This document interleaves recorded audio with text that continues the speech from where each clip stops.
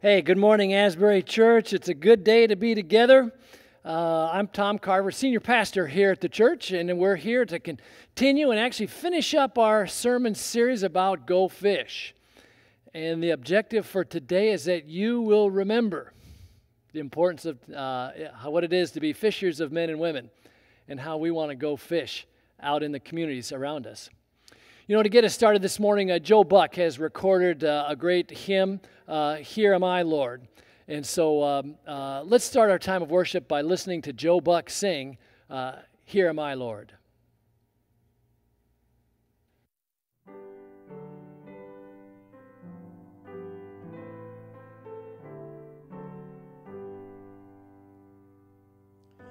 I, the Lord of sea and sky, I have heard my people cry, all who dwell in dark and sin, my hand will save.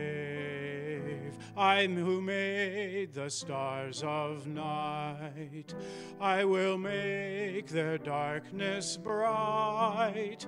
Who will bear my light to them? Whom shall I send? Here I am, Lord. Is it I, have heard you calling in the night. I will go, Lord, if you lead me.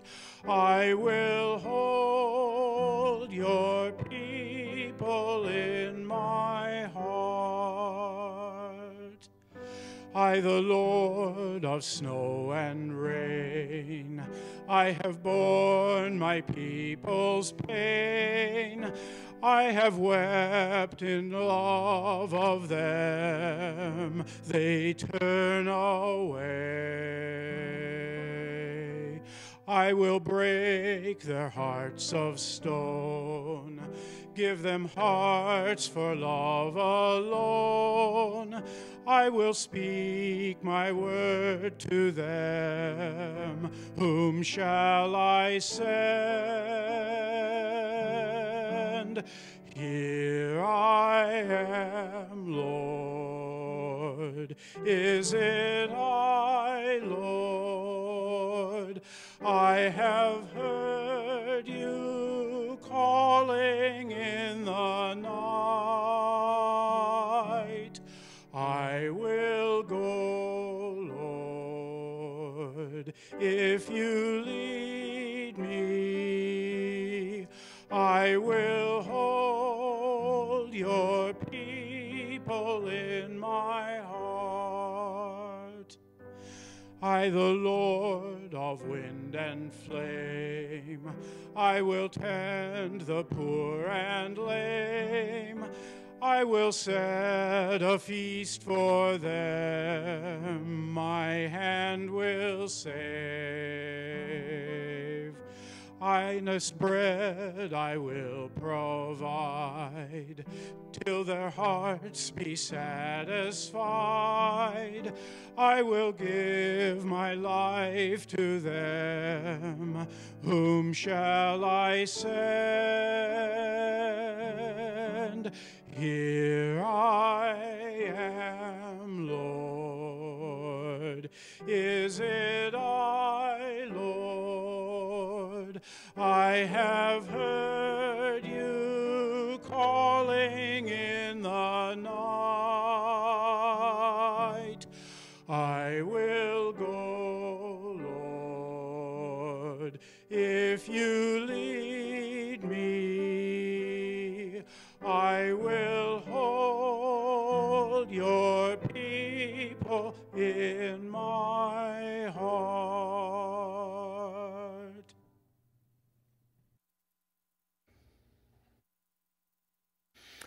thank you, Joe.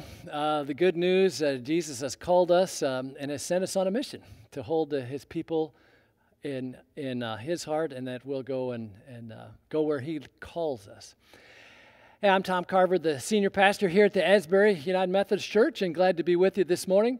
Uh, I want to share some of the announcements, just things happening in the life of the church.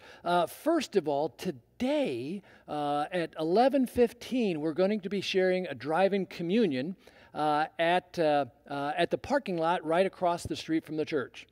So the idea is that uh, to have the sacrament of communion uh, today, uh, maintaining the social distance and the safety, uh, people can actually drive in, uh, come to the church. 11:15 uh, this morning after worship should be enough time if you want to come down and join us. we'll share the sacrament right there in the parking lot. Bring your own elements, juice and bread of some type, and we'll. Uh, pray together. We'll consecrate those elements. You can stay in your car, be safe that way uh, but then share in the Lord's Supper, kind of a unique way for this time of, uh, in this season of our lives. Uh, but it's a way that we can break bread uh, together uh, in person. And so today at 11:15, you're welcome to come and, and, join us.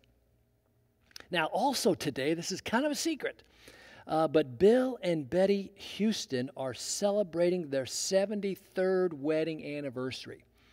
And some folks from the church want to do a kind of a drive-by parade for them today. And so uh, they live on Brown Street, right near what was Thomas Jefferson School, just west of the church here. And so uh, people are going to gather about 1215 on Brown Street, west of their home, and then have a chance to drive by and give our love and greetings uh, to Bill and Betty Houston. Again, I won't say how old they are, uh, but I will say this they're celebrating their 73rd wedding anniversary. And so, uh, certainly, prayers of uh, joy and thanksgiving uh, for um, Bill and Betty Houston. And if you're able to come down 1215, uh, meet uh, west of their house on Brown Street, uh, then we'll drive by and share them, share with them our love today. Otherwise, here in the sanctuary with me this morning, Gail Baldwin is at the piano. Pat uh, Thornton is actually joining me as our lay liturgist today, and we hope to have uh, some vent- adventures together. Uh, Mike Brand is up in the sound booth, and Amber Jerson is uh, running some of the tech things as well. Uh, we had our 8 o'clock service, and it's one of those things we had rain, we had all kinds of, of uh, exciting adventures with our technology today. So if you're at home, just say a prayer that things are going to work out all right, and I'll bet they will. So, um, with that, otherwise, we're glad you're here. Um, and at this point, we want to uh, invite uh, uh, uh Pat to share our prayer concerns. and then I'll introduce the scriptures, Pat, and we'll go to the scriptures then after that. So, Pat, glad you're here. Thanks for joining me.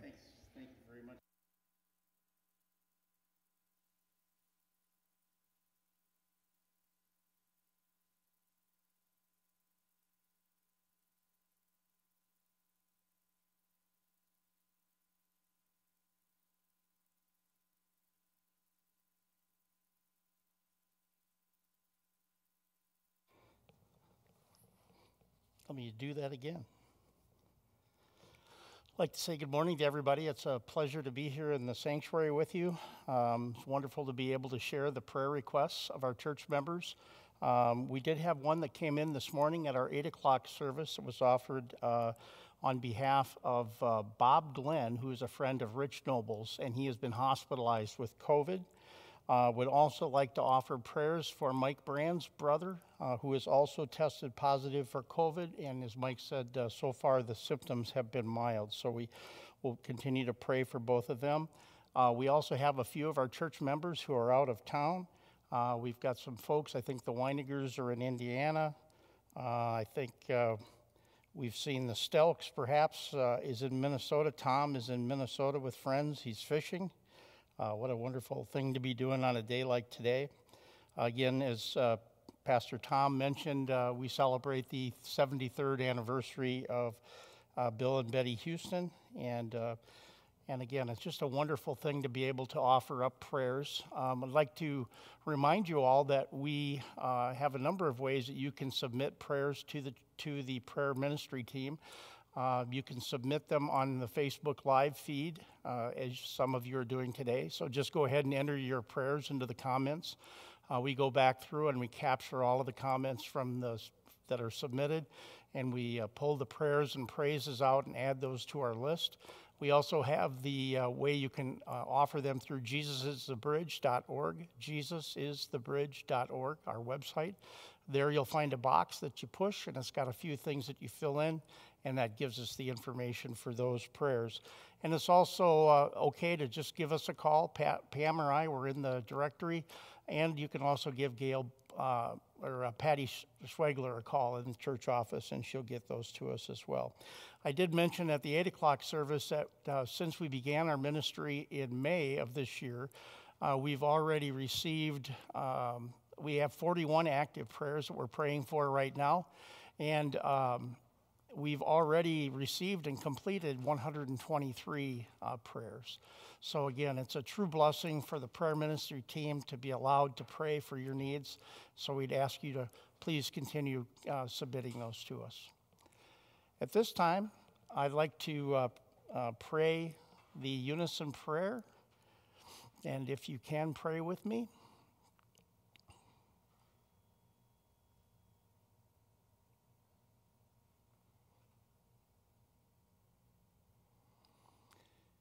Here I am, O Lord, prepared to follow where you lead and serve your people. We have heard you calling us in the night, and we are prepared to go. Where you send us, we will follow until all your people have heard of the love that you offer in your Son, Jesus Christ. Amen.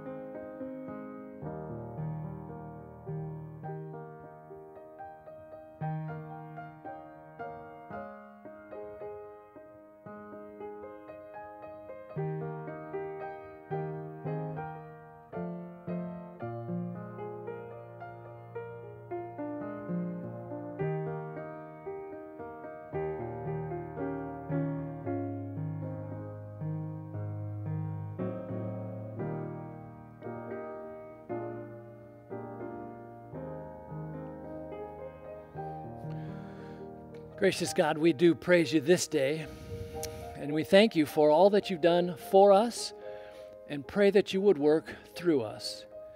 As you've called us to go fish and be fishers of men and women, we just pray that we would go in your name and share your love. Dear God, we're especially mindful of all those who are in need of a comfort and strength and healing. We pray for our nation, for our world, our leaders, uh, and those in our own community uh, who are suffering because of the pandemic, the COVID 19. We just pray for healing and comfort and grace uh, as we endure and we make adjustments and we get through. Gracious God, in all of it, we have hope because there's still so much to rejoice in and celebrate. 73 years of marriage for Bill and Betty Houston. Families that will gather this weekend uh, over a holiday observance. And while some things have changed, some things will always be the same. The love that you share with us in Jesus, the love that we share with one another family, friends, congregations, neighbors. In all of it, we just pray for your Spirit to see us through. We pray this in the name of Jesus, who taught us to pray the Lord's Prayer together. Our Father, who art in heaven, hallowed be thy name. Thy kingdom come, thy will be done on earth as it is in heaven. Give us this day our daily bread, and forgive us our trespasses, as we forgive those who trespass against us. And lead us not into temptation, but deliver us from evil. For thine is the kingdom, and the power, and the forever. Amen.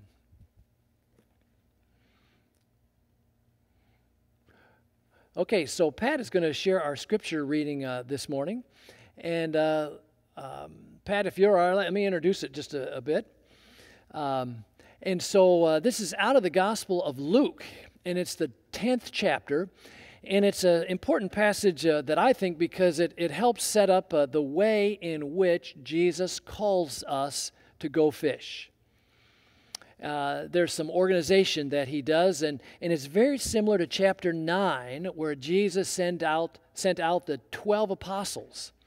Uh, you can see there, chapter 9 of the Gospel of Luke. He sent out the 12 apostles, gave them uh, power and authority over the demons and, and to cure and to proclaim to all that the kingdom of God was near. So now to skip ahead to chapter 10, and here's where now we've gone from just 12 apostles to 70 or 72, depending on which uh, ancient manuscript you look at. But now it's dozens of followers of Jesus. And they're called now to go out two by two into all the places where Jesus meant to go. Again, this is an important passage for me because I think it, it summarizes, it gives us a way by which we can fulfill our calling uh, to make disciples of Jesus. And so, th- thanks, Pat, for letting me set that up. And here's now uh, uh, the Gospel uh, of uh, Luke, and it's verses 1 through uh, 10, or 1 through 10, 9, but then it's going to skip ahead to verses 17 through 20. After this, the Lord appointed seventy others and sent them on ahead of him in pairs to every town and place where he himself intended to go. He said to them, The harvest is plentiful, but the laborers are few. Therefore, ask the Lord of the harvest to send out laborers into the harvest. Go on your way. See, I am sending you out like lambs into the midst of wolves. Carry no purse, no bag, no sandals, and greet no one on the road. Whatever house you enter, first say, Peace to this house. And if anyone is there who shares in peace, your peace will rest on that person. But if not, it will return to you. Remain in the same house, eating and drinking whatever they provide, for the laborer deserves to be paid. Do not move about from house to house. Whenever you enter a town and its people welcome you, eat what is set before you. Cure the sick who are there, and say to them, The kingdom of God has come near to you. The seventy returned with joy, saying, Lord, in your name even the demons submit to us. He said to them, I watched Satan fall from heaven like a flash of lightning.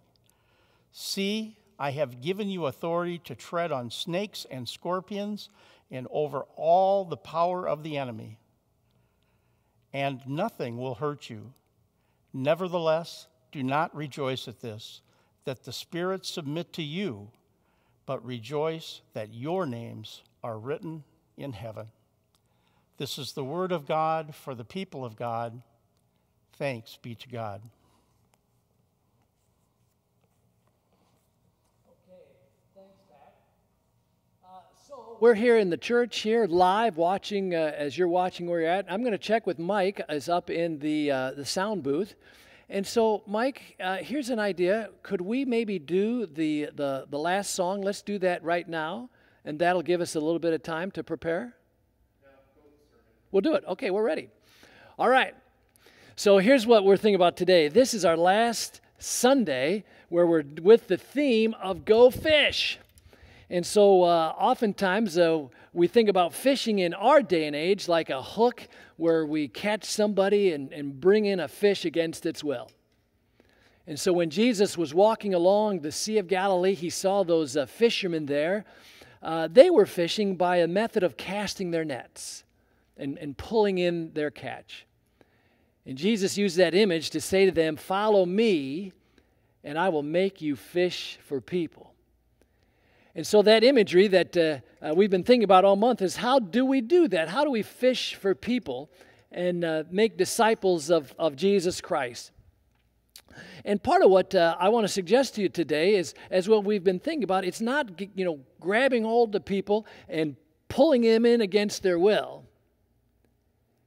It's actually kind of like wrapping your arms around them uh, walking with them, being with them, and in a relationship, becoming a friend, becoming a connection, uh, uh, becoming a, a, a friend to them, showing you care, and out of that relationship, develop a, a, trust so that they know you care about them. And out of that relationship, then, to share your relationship with Jesus.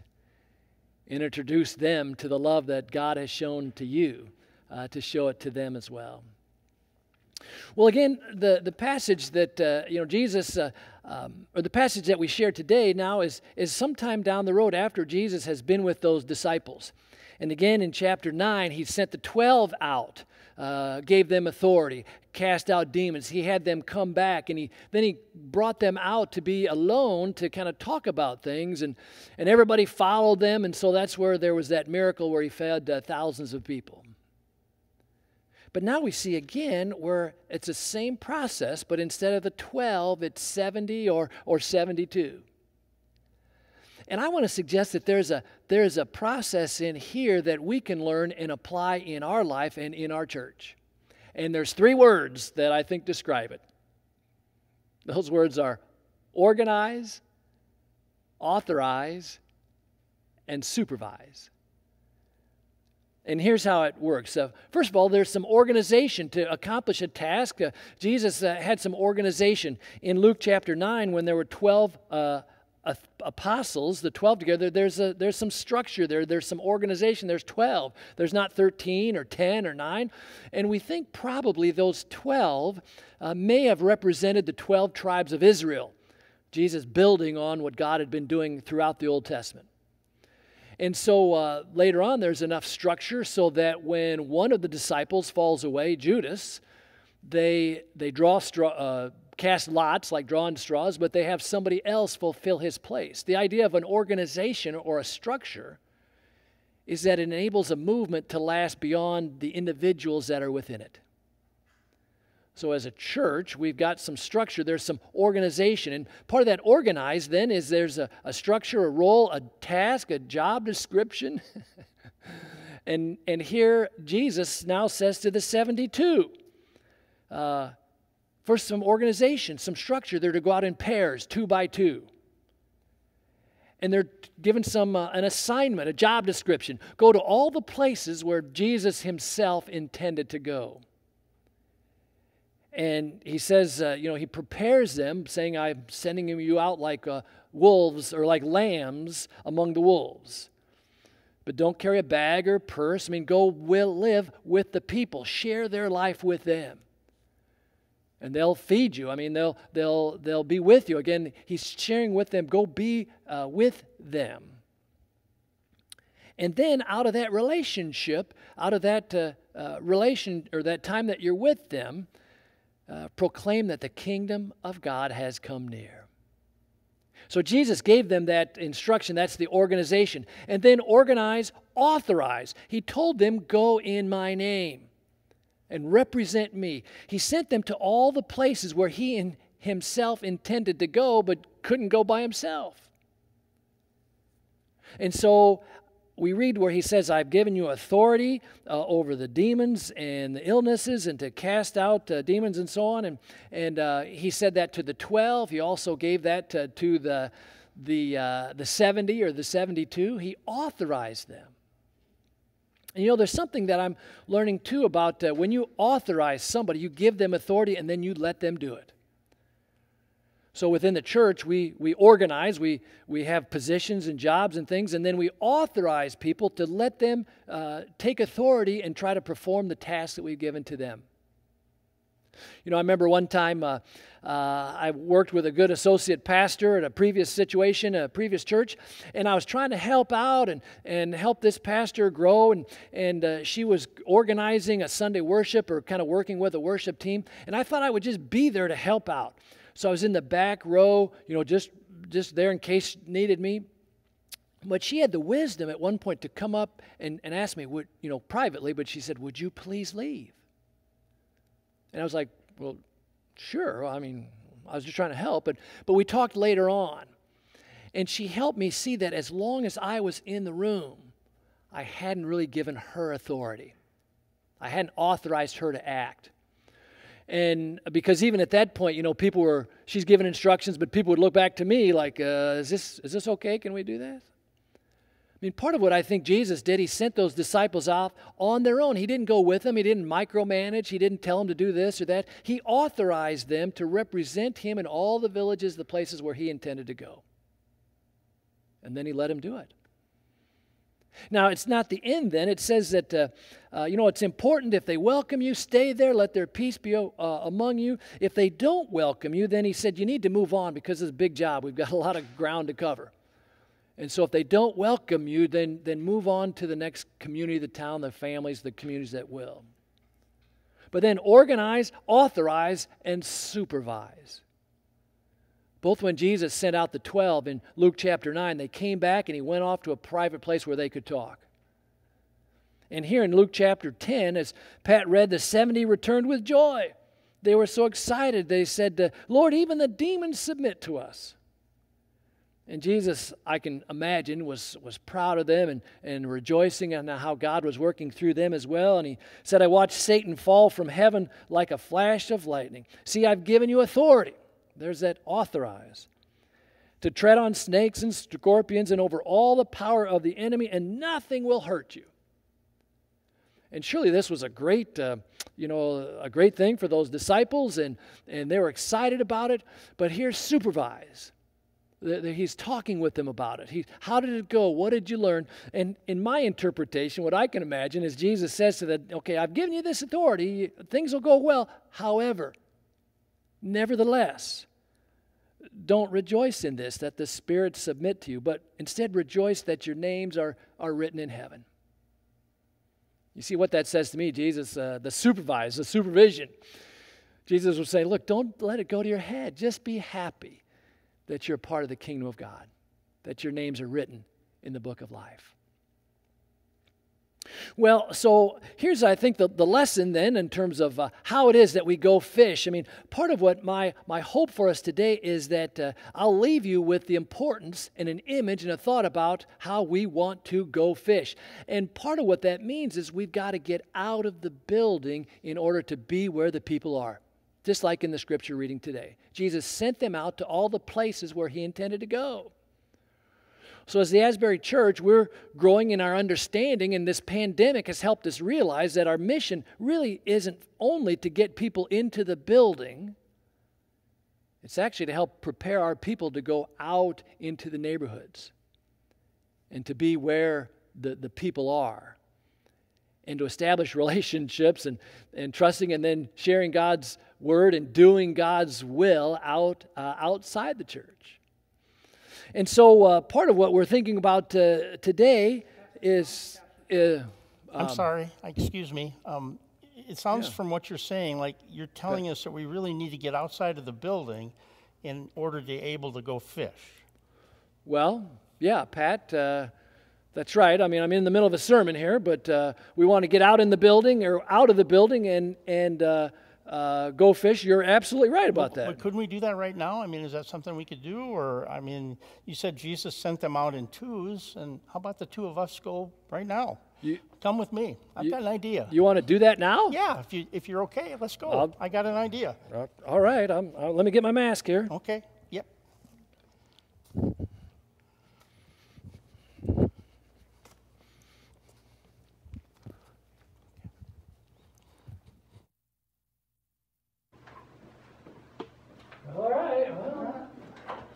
you like this place.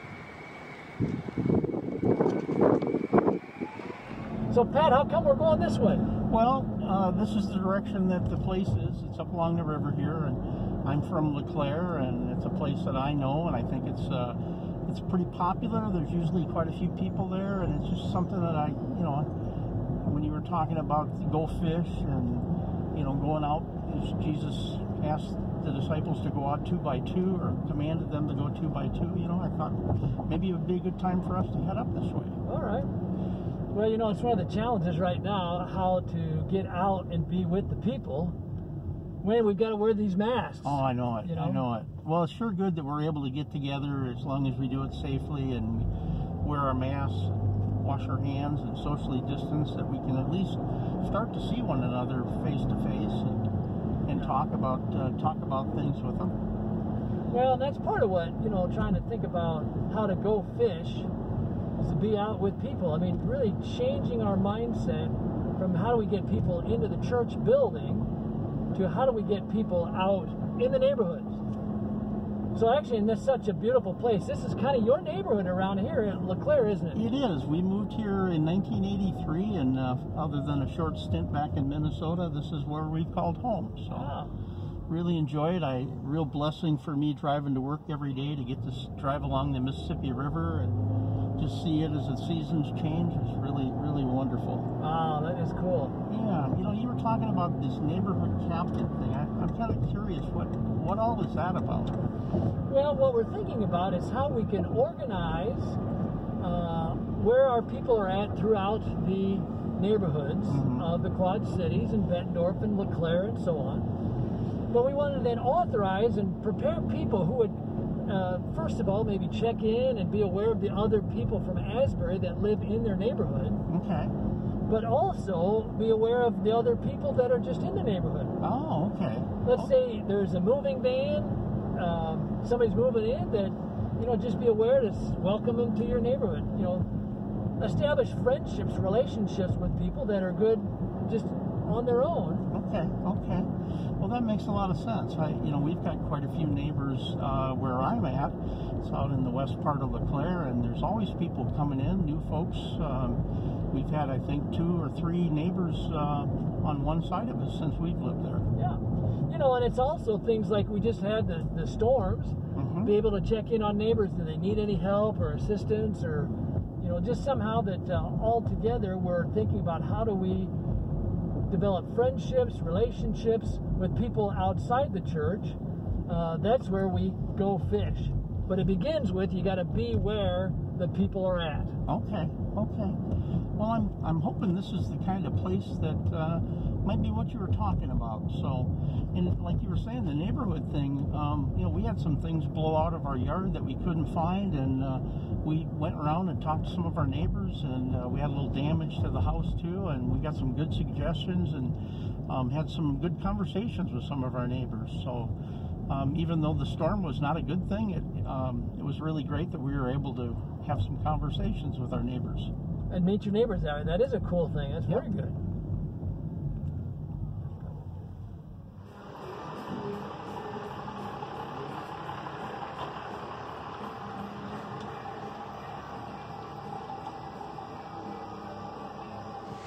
Wow, Pat, this really is a great place. No wonder people would want to come here. Beautiful beach and uh, picnic area. Yeah, it really is pretty, isn't it? You just can't beat being on the banks of the Mississippi, and what a beautiful day today, isn't Oh, it? Oh, it's gorgeous.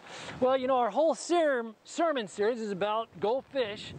And a big part of it is just being where the people are. That's right. Getting out into the neighborhoods. We'll thinking about doing neighborhood captains and so on. So Mm-hmm. I'm hoping people will remember what we've been thinking about, how to go fish. But but but Pat, why did you want to come here? Well, to be honest with you,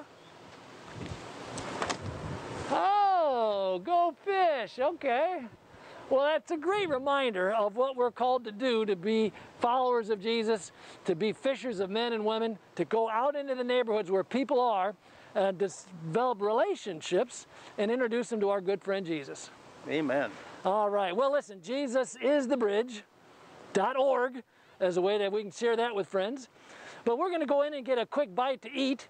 And while we do that, uh, Peggy Hamilton and the world's most dangerous praise team have recorded another song that we'll sing now about being sent. And how about we get it to go and we can maybe get back to the sanctuary in time? Well, that sounds like a great idea. All right, let's go. All right.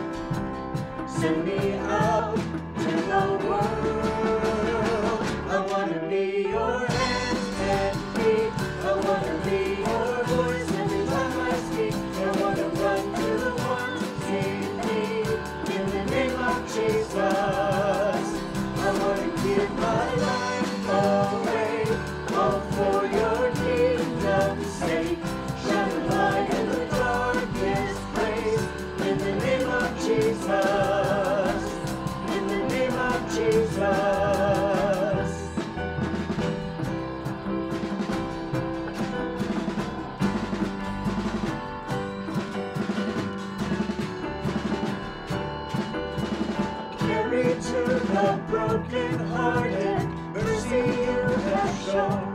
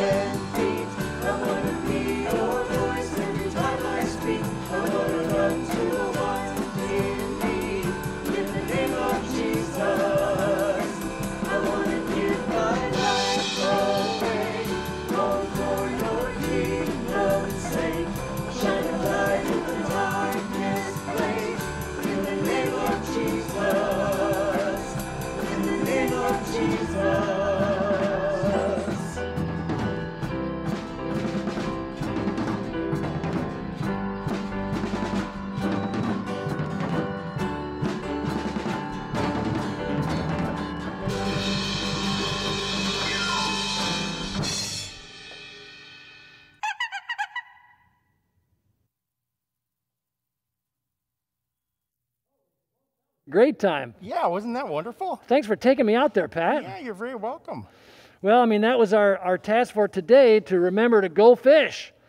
And the best way we do that is getting out in the community, being where the people are. And that was that was a great time together. So thanks, uh, Pat. Well, so you've got your assignment now for today, and that is to remember the words of the Lord Jesus to go fish.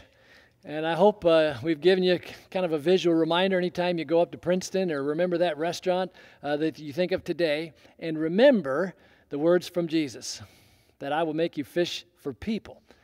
And that as a church, we want to organize and authorize and supervise, but send people out of this building into the neighborhoods where the people are to establish friendships and relationships, to care for one another, to be the hands and feet of Jesus. And in doing that, uh, announce that the kingdom of God has come. And this is a good life.